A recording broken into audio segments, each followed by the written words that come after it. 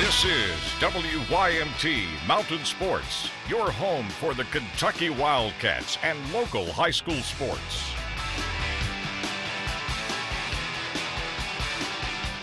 The NCAA releases its notice of allegations on Thursday on the Louisville basketball program. The university did not get the ultimate punishment, which is a lack of institutional control, but it does receive four level one violations. Level one is the most egregious. Three of those violations go to the University of Louisville.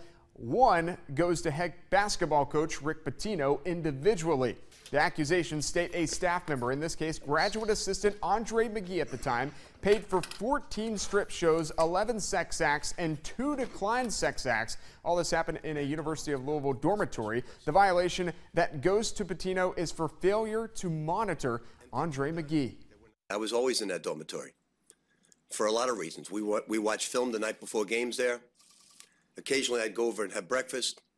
Occasionally, I'd visit the guys. But to be perfectly honest, I'm not there from 10 o'clock in the evening to 4 in the morning. I'm just not. I don't expect any coach to be there, assistant coach or not.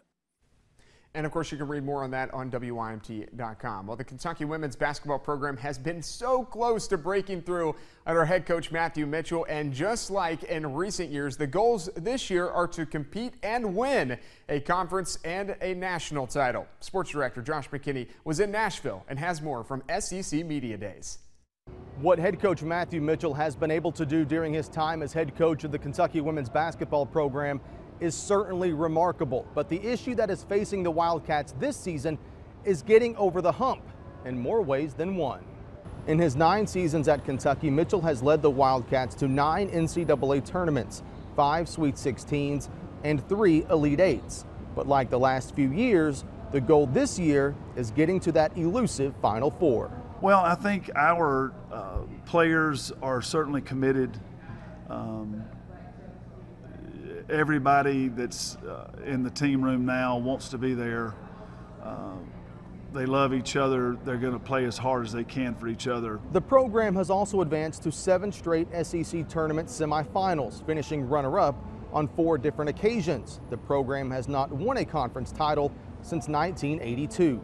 I think it's shaping up to be uh, probably a pretty typical SEC year. Really great teams, uh, very good coaches, great athletes, great players, um, intense uh, competition. But these Wildcats, despite all of the off-court issues during the offseason, believe they can get the job done and move the UK program even further on the national scale. I feel like as long as we all stay on the same page, keep a great attitude and a great effort, and just keep clicking, then, you know, the sky's the limit.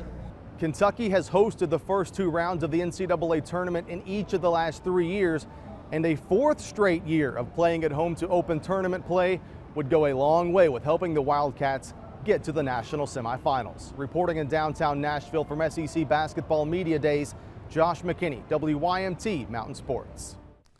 All right, thank you, Josh. Now, if you want to watch the men tonight, or at least uh, later tonight, uh, Rupp Arena is where you want to be for the annual Blue White game. They'll take the court at 7 o'clock, and if you're not going to be there, well, you can watch it live on the SEC network.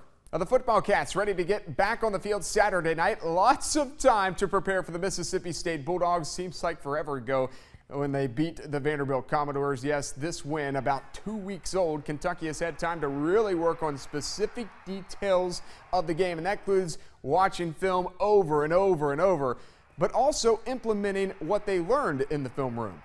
Yeah, yes, sir. Um, on the bye week, we took a lot, a lot of time on film, but now that we're out on the field now more, it we, we know we know a lot more now. We're more mentally prepared for them. Going back and watching the film, um, there are some times where I, I, get to my first, second, and third read, um, and then maybe I'm not checking the ball down. Um, I'll, I'll, look, see, go through my reads and my progressions, um, but I'll just take off. I won't check the ball down to the running back who's wide open. And I'll get maybe three or four yards, but get it down to a running back and he'll get 10, 20. Um, so that, that's one thing we've been working on for sure at practice here. Well, the Bulldogs have won the last seven meetings versus the Wildcats, Kentucky and Mississippi State, Saturday night inside Commonwealth Stadium. I personally cannot wait to get there. Excited to cover the game. Should be an electric crowd in Lexington. 7:30 kickoff, by the way, on the SEC network. If you're not going to be there. Come join me on the Appalachian Wireless Sports Overtime. Again, later tonight, we will have coverage from the Blue White game as the men take the court. Our Appalachian Wireless Game of the Week with Harlan County at Perry Central. You can watch that, by the way, on this TV and WYMT.com, 7.30 kickoff right there. And, of course, we'll have much, much more on the Appalachian Wireless Sports Overtime. That's sports, and we'll be back.